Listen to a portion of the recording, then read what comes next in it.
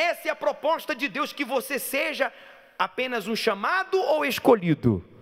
Escolhido. Mas quem é que faz a pessoa subir no altar? É a própria. Quando Jesus fixou o seu rosto em direção a Jerusalém, disse: Para lá eu vou.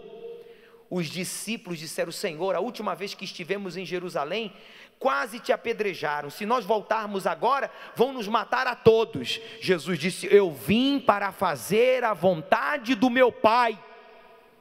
E Pedro chamou ele à parte. Ah, olha como é o diabo. E disse: Senhor, não vá para lá porque vão te matar. E ele disse: Arreda-te de mim, Satanás, porque não cogita das coisas de Deus, senão das coisas dos homens. E diz a Bíblia que seguiu Jesus em direção a Jerusalém. Quer dizer, o escolhido é aquele que fixa o seu olhar no altar de Deus.